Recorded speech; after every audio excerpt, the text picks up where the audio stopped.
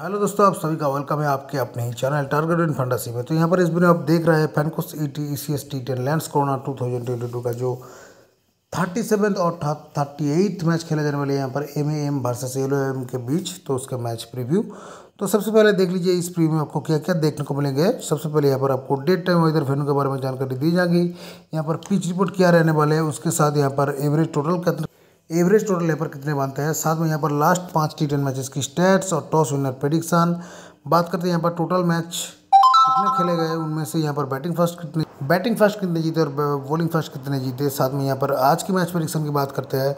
उसके साथ दोनों टीम के प्रॉबल प्लेइंग सही with recent player performance with proper batting order हम सारे के सारे बातें यहाँ पर डिस्कस करेंगे। उसके साथ यहाँ पर स्मॉल लीग के कैप्टन और वाइस कैप्टन की चॉइस और ग्रैंड लीग पिक में आप कौन कौन से प्लेयर को पिक कर सकते हो? स्मॉल लीग में आप कौन कौन से प्लेयर को पिक कर सकते हो? तो सारी बात हम यहाँ पर में डिस्कस करने वाले हैं। तो चलिए यहाँ पर आप वीडियो को शुरू से लेकर तक पूरा देखें ताकि एक एक पार्ट आपको अच्छे से समझ आए। जो एक एक पॉइंट हम यहाँ पर आपको समझाने वाले हैं, आप एक अच्छे से समझ आए और आप एक अच्छी टीम बना पाए। तो वीडियो को शुरू से लेकर तक। पूरा देखिए, और एक बात अगर आपको फाइनल विनिंग टीम चाहिए, आप हमारे टेलीग्राम चैनल को ज्वाइन कर लीजिए।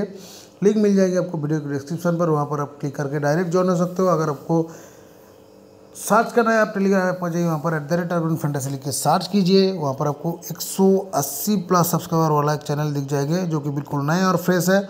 तो वहाँ पर आप ज्वाइन बटन पर क्लिक करके आसानी के साथ ज्वाइन हो सकते हो। तो चलिए मैच की बात करते हैं। यहाँ पर मालमोहास वर्सेस एलोमा के बीच में ये मैच खेला जाएगा। कल दोपहर तो को एक मैच है साढ़े बारह बजे और एक मैच है यहाँ पर ढाई बजे। थोड़ी सी बारिश की चांसेस है।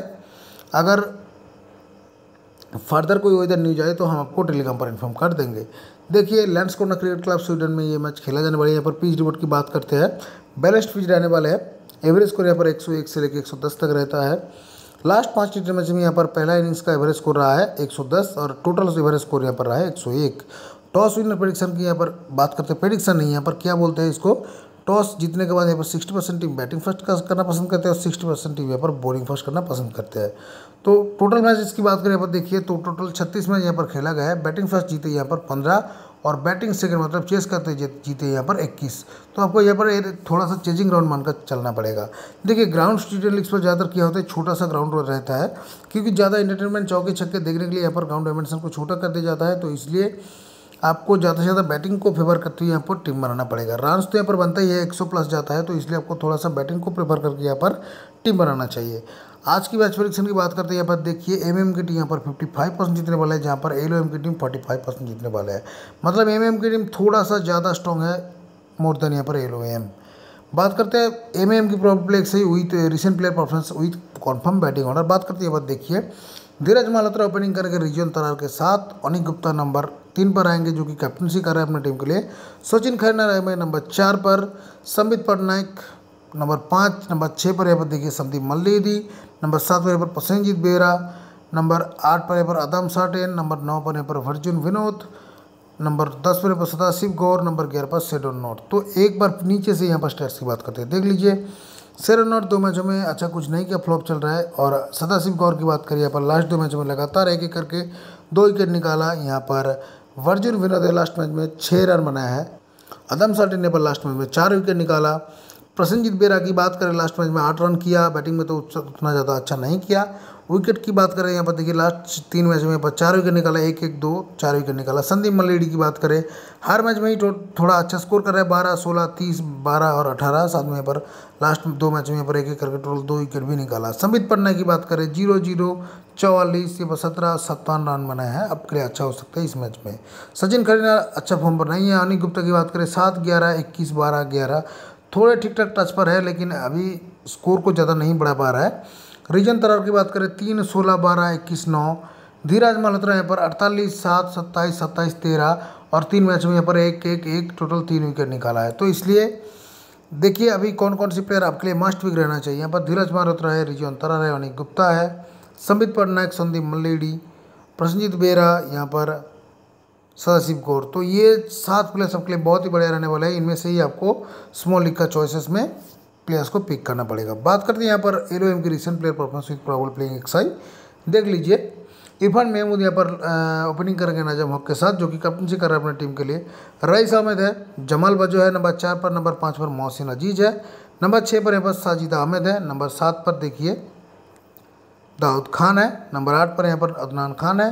नौ नंबर पर मोहसिन अहमद विकेट कीपिंग करते हुए आपको देखने को मिलेंगे। हारून सैदई है डब्ल्यू अहमद है तो यहाँ पर देख लीजिए कौन कौन से प्लेयर को यहाँ पर दो ओवर करके बॉलिंग मिल सकता है। देखिए, सबसे पहले तो यहाँ पर हारून सैदई है। रईस अहमद है जमाल बाजवा है नजम हॉक है और साथ में यहाँ पर इरफान महमूद है।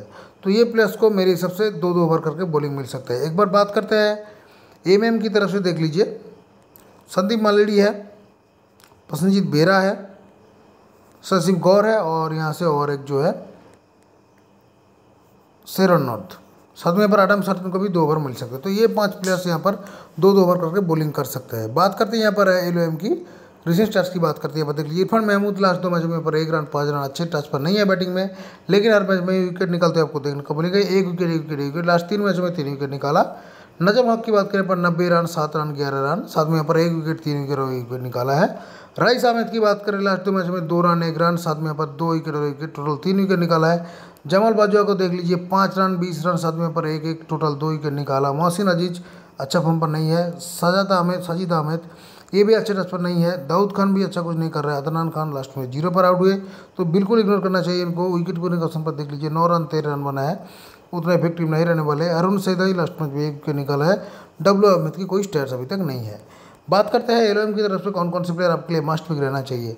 इरफान महमूद, नजम हक, रईस अहमद, जमाल बाजवा और यहाँ से है हारून सैदई तो ये पाँच प्लेयर सबके लिए बहुत ही बढ़िया पिक रहने वाले हैं। आप चाहते हैं यहाँ से और एक दो प्लेयर जैसे कि दाऊद खान हो गए, साजिद अहमद हो गए, मोहसिन अहमद हो गए, इन तीनों को आप बिल्कुल ट्राई कर सकते हो, आपके लिए अच्छा हो सकता है ग्रैंड लीग्स पर।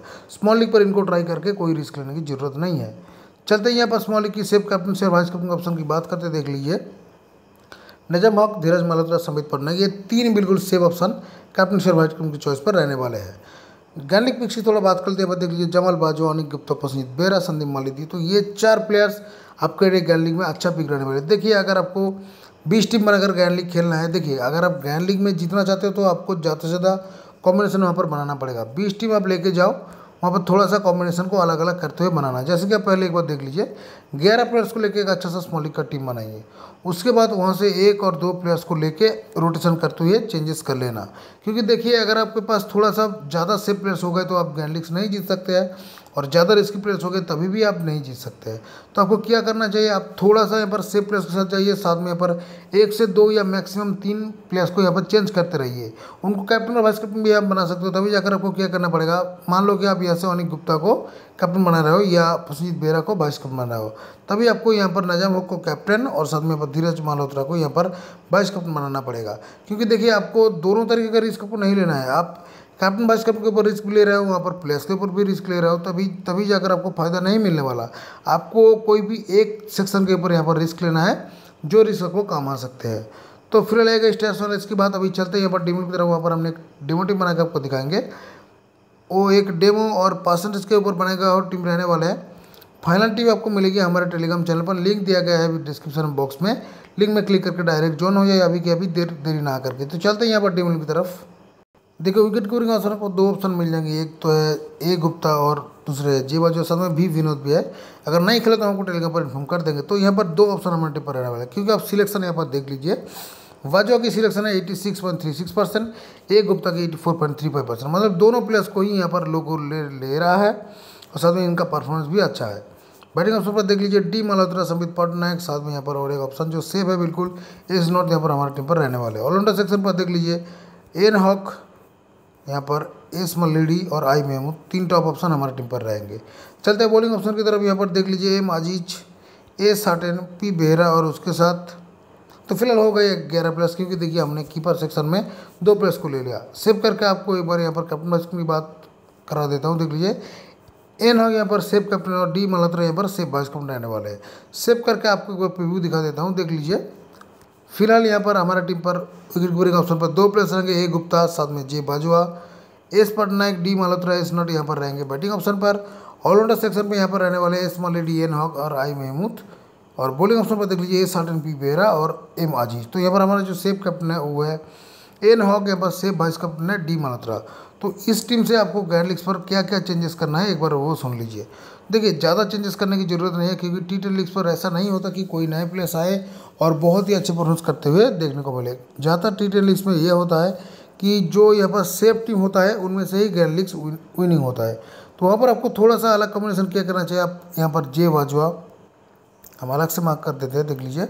J Bajwa A Gupta S Malledi P Behera S not I Mahmood तो ये छः ऑप्शन के साथ आप कैप्टन वाइस कैप्टन के ऑप्शन पर जाइए। तभी आपको क्या करना पड़ेगा? एक बात आपको ध्यान में रखना पड़ेगा कि स्मॉल लीग के जो सेफ़ कॉम्बिनेशन है, वो आपके पास है। क्योंकि देखिए, अगर कैप्टन वाइस कैप्टन नहीं चले, फिर भी फिर भी आपके पास एंट्री वापस आ जाएगी।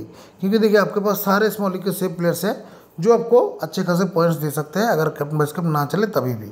तो फ़िलहाल ये रहेगा हमारा स्मॉल लीग का डेमो टीम फाइनल टीम के लिए आप टेलीग्राम चैनल ज्वाइन कर लीजिए लिंक आपको मिल जाएगी डिस्क्रिप्शन बॉक्स में। तो आप वहाँ पर लिंक में क्लिक करके डायरेक्ट ज्वाइन हो सकते हो। तो अगर आपको वीडियो अच्छा लगे तो यहाँ पर लाइक शेयर सब्सक्राइब ज़रूर कर दीजिए। चैनल पर अगर नए हो तो यहाँ पर सब्सक्राइब के साथ साथ बेल आइकन को भी दबा दे देना ताकि आने वाले सारे वीडियो सब पहले देख सके। तो चले फ्रेंड्स एक अच्छा सा टीम मैनेज से विनिंग कीजिए। थैंक यू सो मच अभी के लिए इतना ही। मिलते हैं अगले वीडियो पर। Thank you